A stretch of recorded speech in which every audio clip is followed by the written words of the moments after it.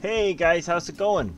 Welcome to another episode of the RPG series. Sorry, this episode has been a little bit later than usual, um, but I uh, didn't have time to make an episode, so here we are. Uh, basically, today we're going to look through the saving system, and um, it's actually quite a simple system. And I am going to make a uh, make the uh, system as a basic setup. So you can finish it in your own uh, project the way you need to finish it. So I'm not actually going to make the whole system for this project because that's going to take quite a while. Um, but I'm just going to make the basic system on how the saving works. And then you can you know expand it to however you want it in your project. So basically um, as you can see I actually did do some more work on the inventory system. So now all the different slots have the same system. Like in the previous episodes, uh, it looks through item slot 1 and then it changes item slot 1 here. And then for item slot 3, for example, it uh, does the same thing but then just for and but then you know for item slot 3 in all cases so this is just a copy paste and changing the item slot values. Um, but now obviously we have a whole bunch of uh, values here, variables that we need to save and load and save and load. And all these are actually save and load variables except the ones with a question mark behind it. So if it's you know fire blast or healing or attacking or are we dead, uh, those we're not saving because those are only for when you're playing playing in the game. And the same is for the spiky grass effect. So you can actually put a question mark behind the spiky grass effect and then you know that now this is something that only happens in game that's how I always uh, make sure to uh, to show that.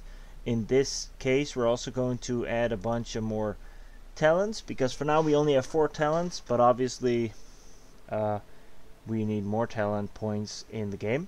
But because we're going to make the basic system, um, I'll do all of this off camera. And I'm just going to show you guys how the saving system works. Alright, so first of all, um, just keep it in your inventory system map or folder. We're going to look up save. Uh, give me, should actually be uh, maybe a blueprint class yeah a save game. So you just need to you just need to look up the blueprint class and then look up save and then click save game blueprint. And then you can just uh, call it save file. And then in here we're going to basically make sure all this all the system gets set up. So we're not actually going to make all these variables now what we're going to do is we're going to go to the third person character we're going to make a custom event or we can actually what's better if we make a function. So we're going to make a function called save game and we're going to make a function called load game. So what the save game does it it will create a save game from slot. So create save game object. In this ca uh, case we will actually call it the save file is what I called the save game from slot. Right but before this we need to make sure that it exists right? So in this case we need to turn on or go to right click on return value and make promote to variable. Call this save file ref so reference. And before this uh, we will uh, turn put in a sequence and then uh, the first one will go to a uh, uh, sorry uh, is valid? Oh is valid question mark?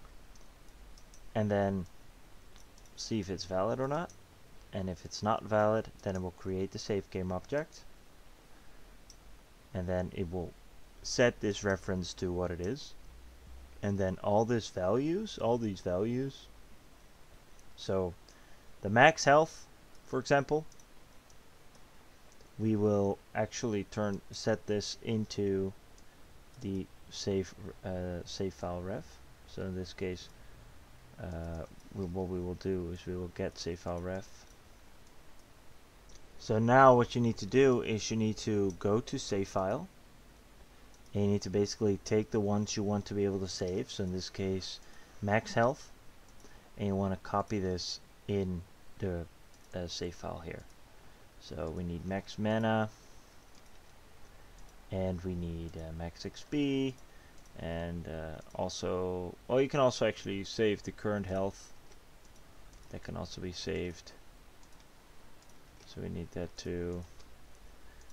And uh, you know, current mana needs to be saved, and uh, current XP needs to be saved, and all these things need to be saved. The current level.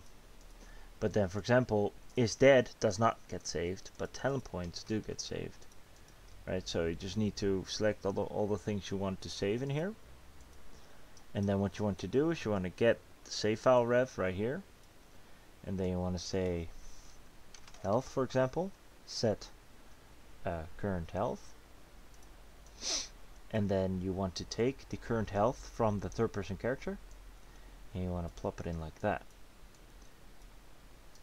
and then uh, I'll explain it more as we go but ju I just want to show you guys uh, some more examples. Max health, like that. Take this max health, put it there, and then uh, current mana. So set current mana, and then put it here, and then you know get current mana, put it in there, and then set max mana, and then so Alright. So now in layman's terms, I'll explain exactly what's going on here, because I can understand that this might feel a little bit weird. So what we're doing right now is, uh, and I'm actually being kind of a idiot, because this is not load game, this is save game. I'm uh, so very sorry about that. My god, that's stupid. There we go. Okay, so what happens here is the following. You click on save game, and then this function will will uh, go into play.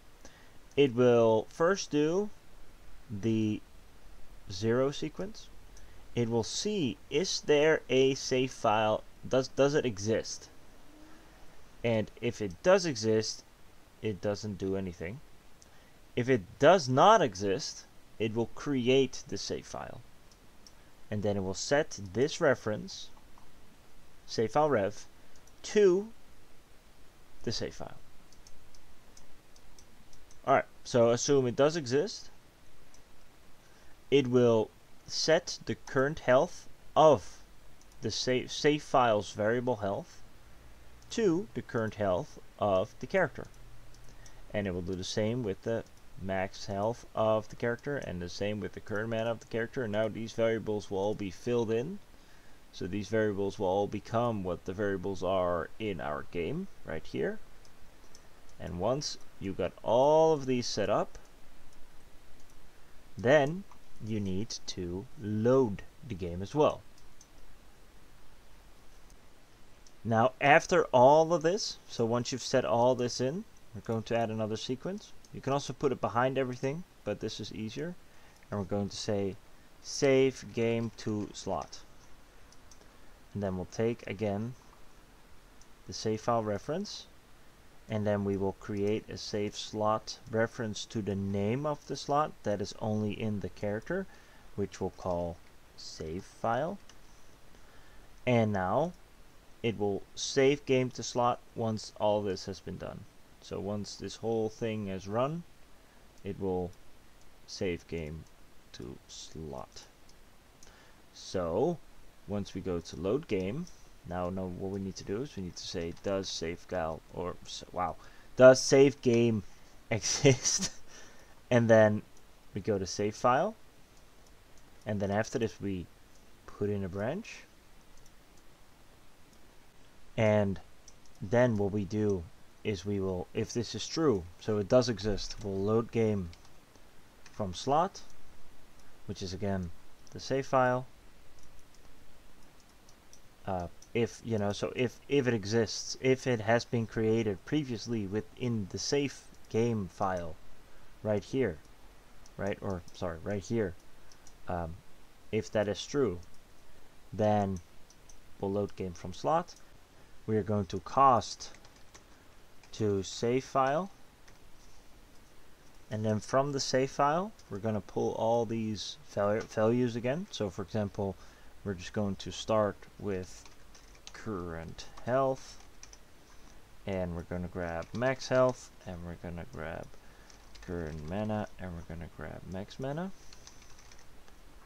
And then you can put them all under each other. Looks nicest. And then what you want to do now is you want to set your current health by and you know all these values by the respective value that you pulled from the save game file. It's just a database right? And you're you're gonna load from the database. So that's the easiest way to look at it. Right so let's look at this one more time just to make sure we got it all right. Whoa where is everything? Give me a second. Oh sorry right. So you click on save game. It will see if it's valid. It will create a save game. It will make the reference. Then it will go to the reference and it will take all the the, the data from the file reference and overwrite that with the data that's currently in the character so let's say I picked up a health bonus of 25 I saved then the health on the save file value will become 125 instead of 100 which is normal. And then if this has all been done it will sequence to the next one and it will say uh, save the save all this to the save file ref and then the slot name of it will be this. And uh, I'm not sure if we have to do this. Maybe so just to save slot. Just the standard. I don't think we need to do that but just to make sure it works. And then in the load game what will happen is uh, we will uh, look if the save file exists. If it does exist we will save we will load the save file and then we will cast to the save file and then all these values will be loaded into the character. Alright. So let's see if this works. Uh, what we can do is we will set button 6 so button 6 to save game slot. Oh to uh, what the heck